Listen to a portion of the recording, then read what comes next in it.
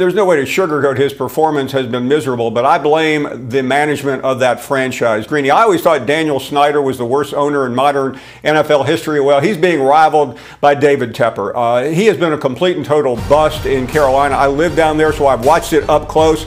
Uh, Bryce has not been given a fair chance. I, I, think it really is embarrassing and disgraceful for what they have done to him.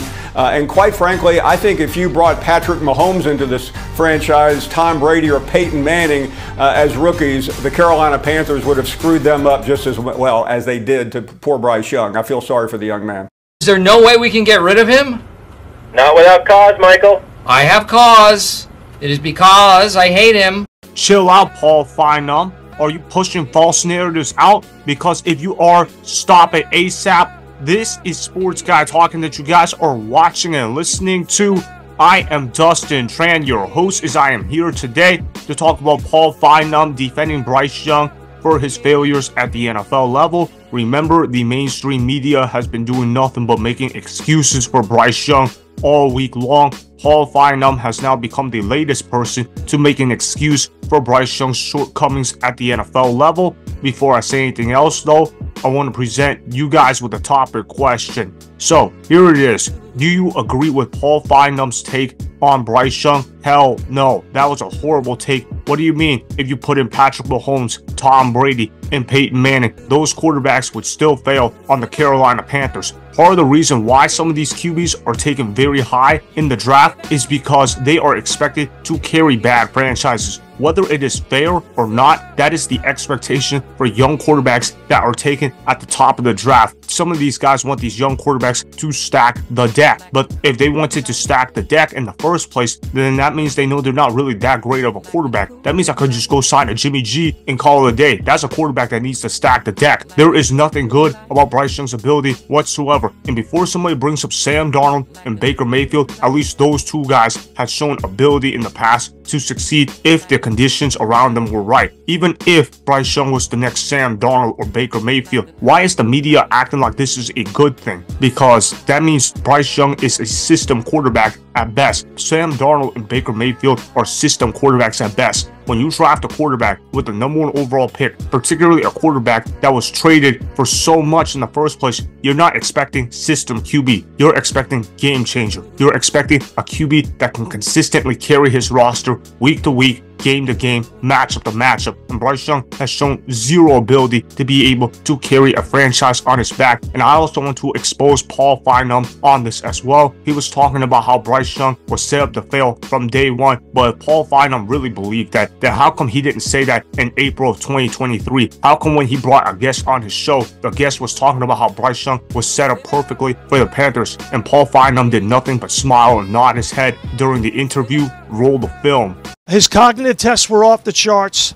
Uh, I think the polish, charisma, natural leadership of Bryce Young impressed David Tepper.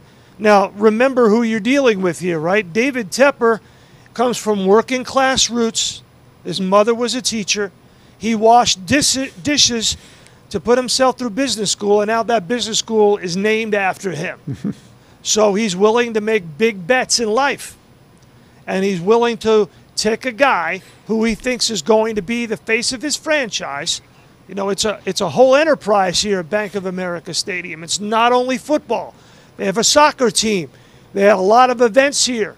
Uh, and they want somebody who's going to be the face of the franchise, a la Cam Newton, who was their last number one overall pick. You're an idiot and a scammer.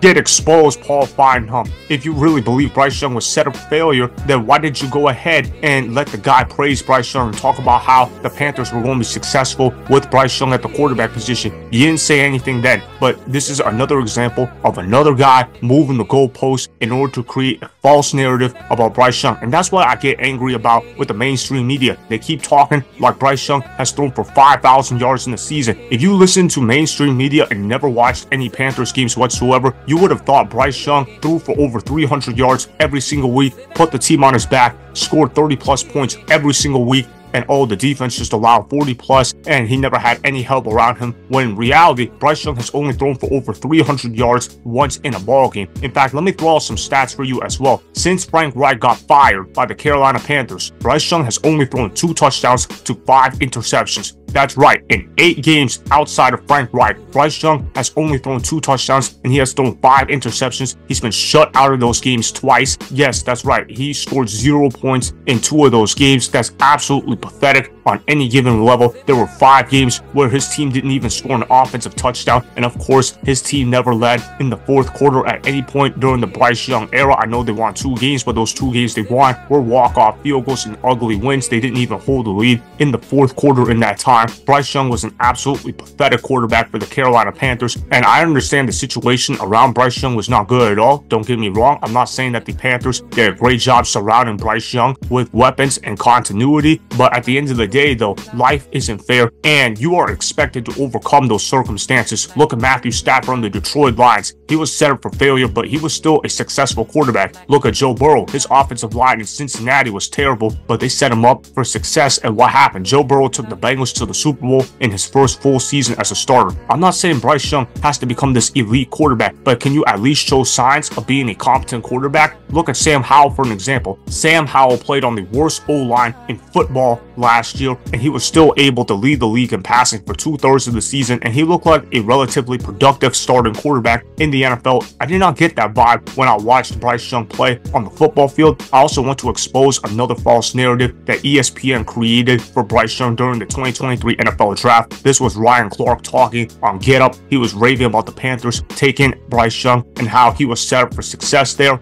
Roll the film. Listen, I think Bryce Young is a superstar. And I talked to him last night after he was drafted, and he talked about the coaching staff that's there with Frank Reich, Coach McCown, also Thomas Brown as the offensive coordinator. He thinks it's a great place to continue to mature as a quarterback and as a man. I believe he's the perfect fit with the perfect poise for being drafted number one overall and being the leader of an organization. What? Bro, what are you talking about, man? Bro, I'm out, man. That nigga's tripping. You see, fellas, you see what I'm talking about? You see how they changed the narrative real fast? When Bryce Young got drafted, they were talking about, oh man, this dude is set up for success. He's going to be a great player on the Panthers. And look at how the Panthers, they know what they're doing and they're going to be good sooner rather than later. But because Bryce Young is absolute trash, do they hold him accountable? No, they don't. All they just do is say, oh, he needs more weapons, he needs an offensive line, he needs an elite head coach, he needs an elite owner. But the thing is, you look at CJ Stroud, he joined the Houston Texans, a team that had won 11 games in a three-year stretch where his wide receiver one was Nico Collins. Bryce Young is still not a good quarterback at the NFL level. He probably will never be a good quarterback at the NFL level. And guys like Paul Finebaum make me extremely frustrated when I hear them talk about Bryce Young because of their constant goalposts being moved, constant expectations keep getting changed, and they keep basically changing the expectations of what Bryce Young is actually supposed to do. When you get drafted number one overall, you're supposed to be a game changer. Bryce Young is not even a game manager. He is a game wrecker. You basically feel hopeless out there knowing that you're not going to win football games more often than not. But that's what happens when you're a small quarterback that's short, small, and slow. You can't succeed with those three factors unless you play kicker or punter. And if you have those traits as a quarterback, you're not going to succeed at the NFL level. I don't care who you are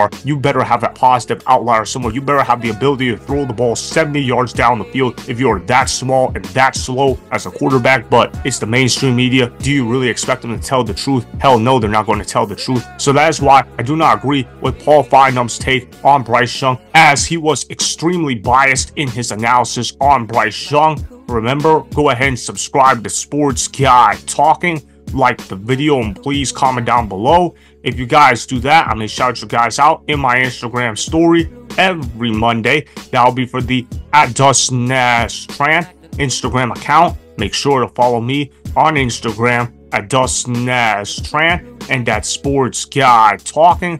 Also, go follow me on Twitter at Dustin Nash Tran. Again, go ahead and do those things that I just told you guys to go do. Hopefully, you guys enjoyed the content that was just produced. Peace out. I hope you enjoyed that video. Want more Sports Guy Talking, the home of great sports content? Make sure you click that subscribe button to get the latest from Sports Guy Talking. Go ahead and like the video, comment down below, check the description box on the video in order to follow my Instagram and Twitter. Also, be sure to check out more of the best clips from the YouTube channel Sports Guy Talking.